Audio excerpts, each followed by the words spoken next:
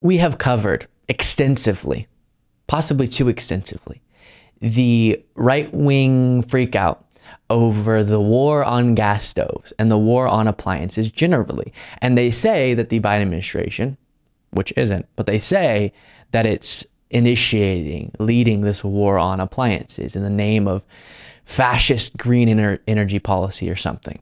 Well, now we have the next step of the war, apparently water heaters are targeted next by, as Marsha Blackburn will say in this Fox News interview, the quote, war on appliances. And this one's interesting because I'll show you what's actually happening with the Department of Energy and what the Biden administration is actually doing when it comes to water heaters. And similar to how we talked about yesterday with the IRS, and how what Biden pushed for should just be uncontroversially good. Everyone should agree. Boom, great. More funding, we get more tax dollars from wealthy people that they should be paying by law anyways, and everyone wins. The government makes a profit. Awesome. But instead, just because it's Biden and Democrats pushing for it, Republicans oppose it. It's a similar thing here with the water heater, new fear mongering talking point on Fox News, as Marsha Blackburn will speak to here. So here is Republican Senator Marsha Blackburn, then we'll discuss the facts.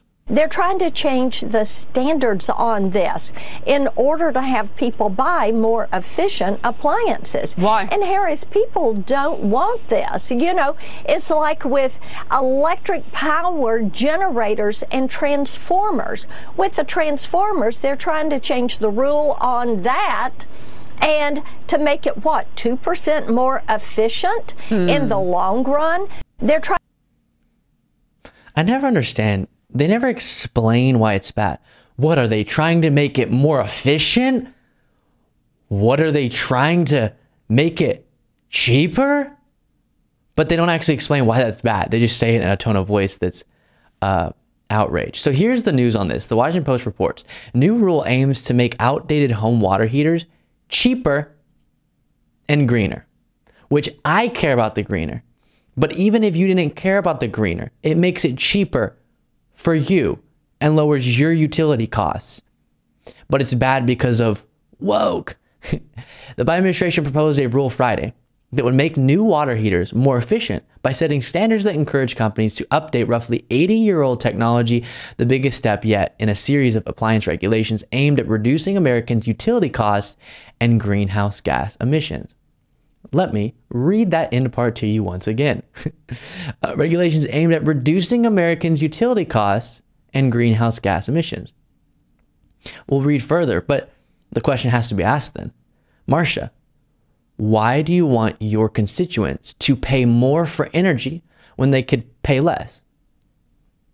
Because you care more about attacking President Biden, about going after your political opponents than benefiting your constituents who would benefit from these regulations. And because apparently Republicans have just given up on any attempt to uh, protect the planet for the future. In this conversation, let's just ignore that and focus again on the cost. It's cutting costs for your constituents who don't care about the effect to the environment, but might care about their own utility bills the Department of Energy says proposal would save consumers 11.4 billion dollars on their energy and water bills each year. Can we just please feel this? We live in a country where of course, people of all political persuasions get so blinded by their partisanship that they make dumb decisions and make dumb statements.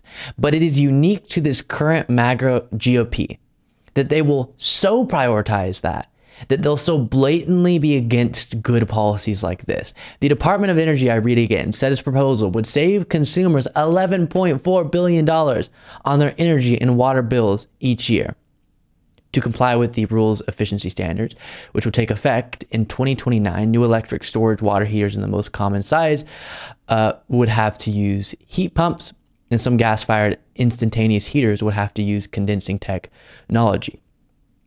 The change would uh, reduce harmful carbon dioxide emissions by 540 million metric tons over a 30 year period, the department says. It would also save Americans $198 billion over the same time span. So, Marsha Blackburn wants to charge you, us collectively, an additional $198 billion over the next 30 years. Why? Why Marsha Blackburn? Do you want to do that? Because you care more about fighting the woke monster, the green energy monster, than actually serving your constituents. And I must say, it's shameful. Thank you so much for watching. If you want to be a part of what makes this show possible, plus get access to the full video version of the show hours before all the clips are able to be uploaded to the YouTube channel, plus get the bonus show on the weekends, you can do so by going to lukebeasleyshow.com slash membership. That's lukebeasleyshow.com slash membership, and there's a link in the description.